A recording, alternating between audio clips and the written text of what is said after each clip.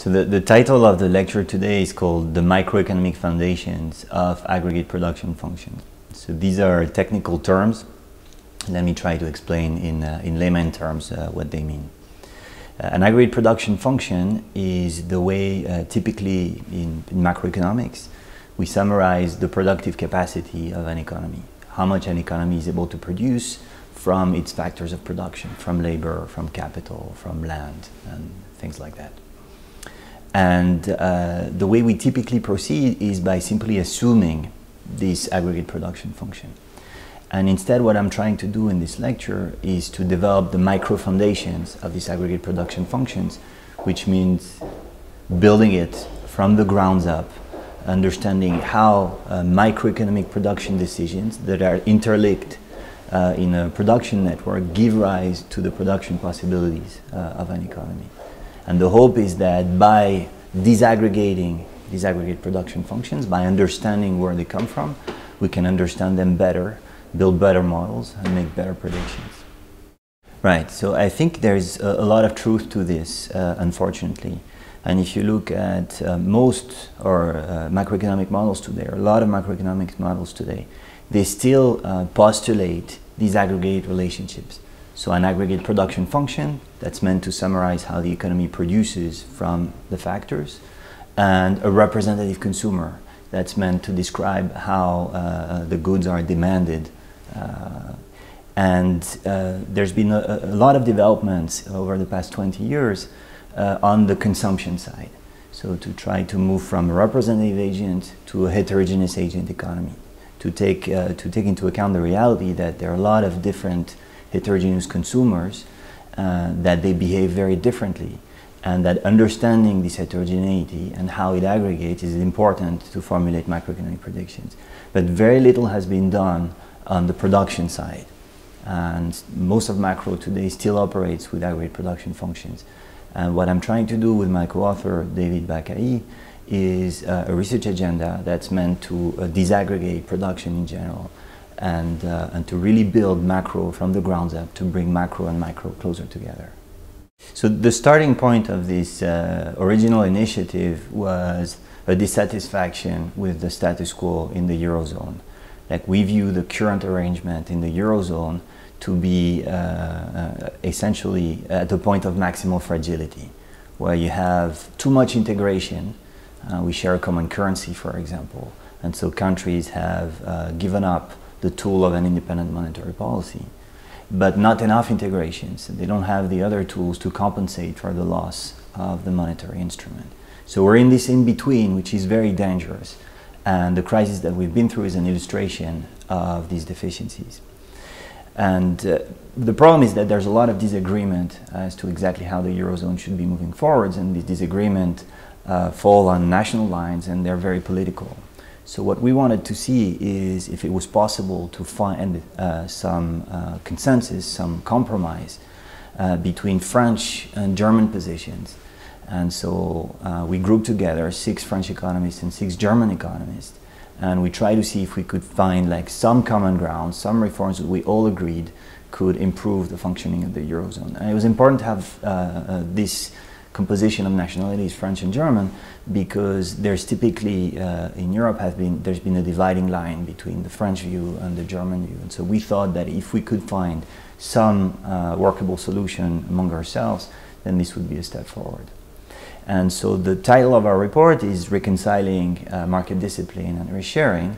And market discipline is typically associated with the German view and risk-sharing with the, the French view.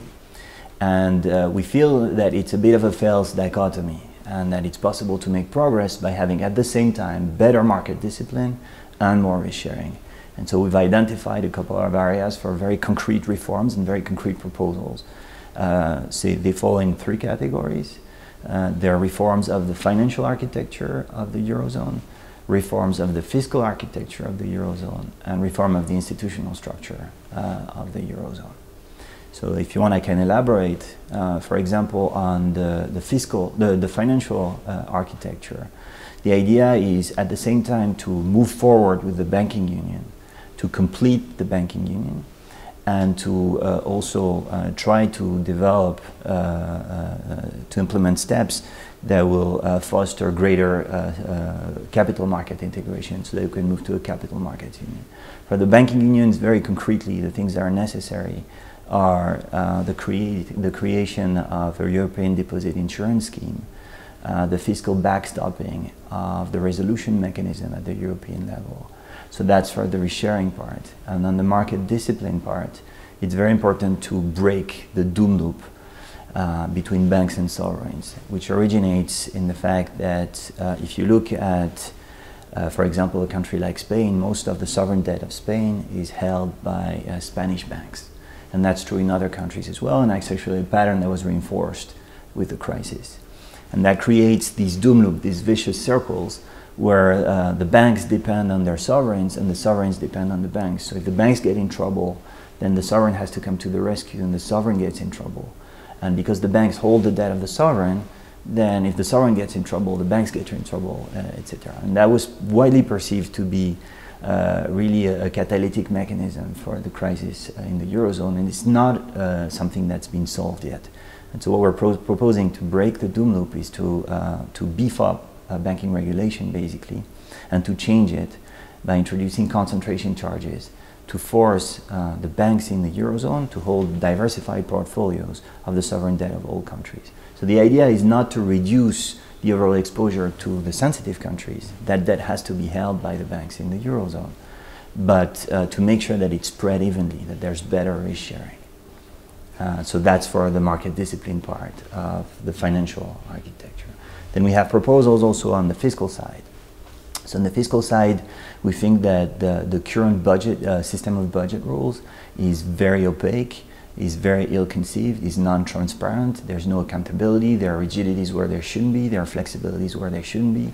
And so we would like to do a bit of a tabula rasa and to uh, to propose a, a much simpler uh, system that we think will be flexible in the right place and uh, provide the right incentives uh, in the others. And so the idea is to move uh, towards uh, national expenditure rules that would be set by national fiscal councils uh, and with a correction for the, the level of debt. That's one part of it. Uh, the second part is to facilitate debt restructuring uh, because that's something that's very difficult uh, in, uh, in the Eurozone despite the adoption of some collective action clauses. So we, we would like to make that easier. And the third thing is to create a joint fiscal capacity to help alleviate asymmetric shocks uh, in the Eurozone.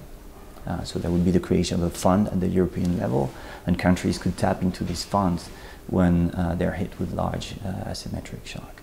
And finally, on the institutional side, uh, we think that it's very important in order to make uh, these budget rules have some bite to have a clearer institutional setup where you separate the function of prosecutor and the function of judge which are right now conflated in the same institution. Right, so the, there has to be some political will behind these reforms because some of them uh, involve some uh, transfer of sovereignty uh, to the European level uh, and the mutualization of resources at the European level. So there needs to be a political will and there needs to be trust uh, in the European project. And uh, we view these three pillars financial, fiscal, and institutional as complementary. And we think that you need to advance on the three fronts at the same time if you want to uh, propose a credible package that can assuage uh, the fears of the different, uh, the different countries uh, in the euro. And we think also that it's important to, to do it now because there's a, there's a rare opportunity basically uh, with uh, two countries that didn't trust each other so much in the past and are starting to trust each other again, France and Germany. Uh, the legacy of the crisis is starting to recede a little bit. And so we think that right now there's, uh, there's a window of opportunity and we hope that something will come out of this. So I think the big, one big risk that I see is that we do not seize on this opportunity, that we do some cosmetic and symbolic reforms and that another crisis hits in the next five, ten years, who knows, and that exacerbates and repeats the sort of uh, tensions, the political tensions and the economic tensions that we've seen at play uh, this time around. And if it happens the second time in a row, I think that would really jeopardize the trust in the European project. So I think it's important to, to do something now, and I think it's possible to do it. And I hope that people will rise up to the challenge.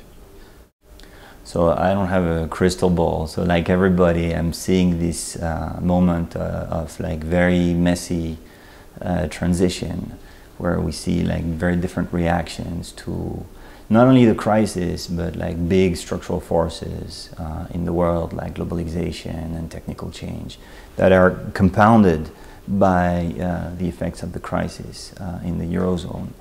Um, and that's creating the two sort of very different reactions. There's the rise of right-wing and left-wing populism in some countries in the eurozone and uh, you have other countries which are moving in another direction uh, I don't know exactly how this will play out. It's clearly a very combustible uh, situation.